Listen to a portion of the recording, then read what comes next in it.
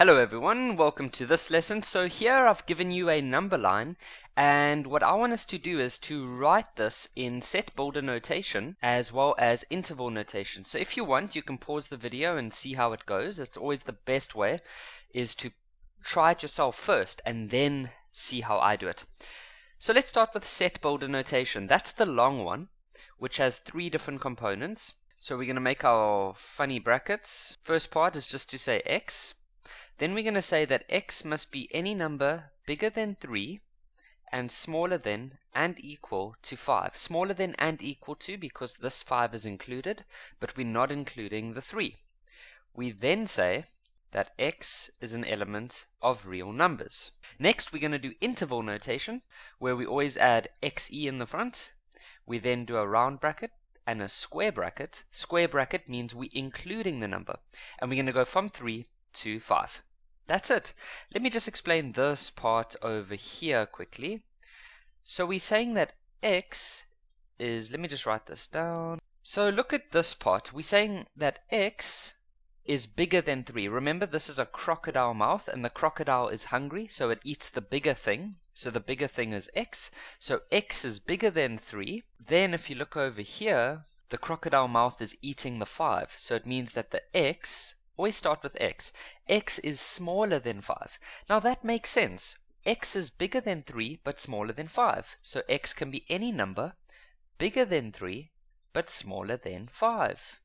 And it can also include 5 and that's why we've added that little line over there. Here's another one. So try this one, but don't look at what you did in the previous exercise.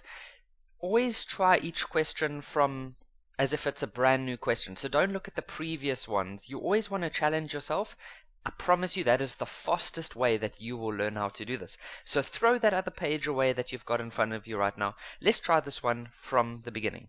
So in set builder, we have the funny brackets. We've got that over there. Then we're going to say that x must be anything bigger than 2, but we can include the 2. And it must be smaller than 4, and we can include the 4. We then use a semicolon, and we say that x is an element of R. So we've got three parts. We've got this part, we've got this part, and we've got that part over there. In interval notation, we say xe. We use square brackets for both because we can include the 2 as well as the 4. And that's it. Here's another one. So in set builder, that's the funny brackets. So we say x. We now now tell me about this. This these numbers here will be any number bigger than 3. So x, which is the number, must be bigger than or equal to 3. Of course, you can also do it the other way around. You can put the x there. As long as the crocodile is eating the x, because x is bigger than 3. Remember, x is all the numbers that are on your number line. So that would be things like 4, 5, 6, 7, 8, and it keeps going on. So x must be anything that's bigger than or equal to 3. So we put that over here. x bigger than or equal to 3. And x is an element of R. In interval notation, xe, we then put a square bracket. Why? Because 3 is included. Now we don't have a number to the right, and so we use infinity, and infinity is always round. And if your infinity sometimes do something like that, no worries, no one's judging you. I've done that many times.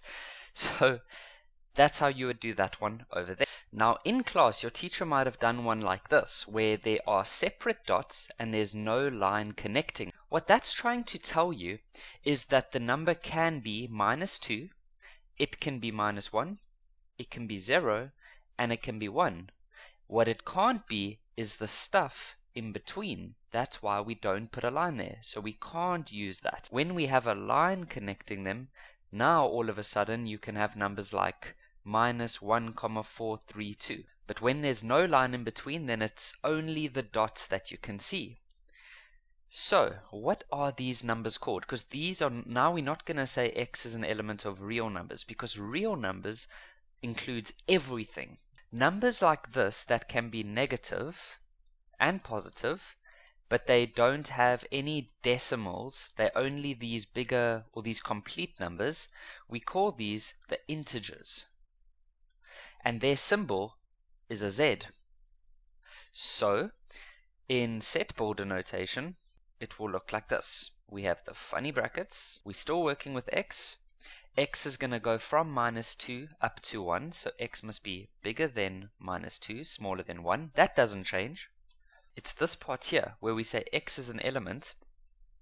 We're not going to use r, we're going to use z. So we're saying, sorry, I did my z like that. There we go. So z means integers. In interval notation, there is nothing that we need to do. Interval notation only works with real numbers, so that's nice. Less work for us to do. So please remember that. Interval notation only works when we are busy with real numbers. So you would see that your teacher probably just put a line through when they were doing it in class. So if you were given this in class, notice that there's no line connecting them. What that means is that we're not allowed to include the stuff in between. We only want to include the integers. Now, of course, we can include the integers that are in between, such as 0, 1. That's okay. You just don't want to include all the weird decimal numbers in between those. So in set builder notation, we're working with x. x goes all the way from minus 1, and we can include minus 1 because I've colored that circle in, up to and including the number 2. Then we are busy working with integers. So remember, on a number line, when you have minus 1 here and 2 over here, there is the number 0 and 1 automatically included. We're not skipping them out. And so, and then remember for interval notation, there isn't one. Okay, so for interval, we're going to say NA, not applicable. In uh, interval only works with real numbers. That's the end of this lesson. Thank you very much for watching.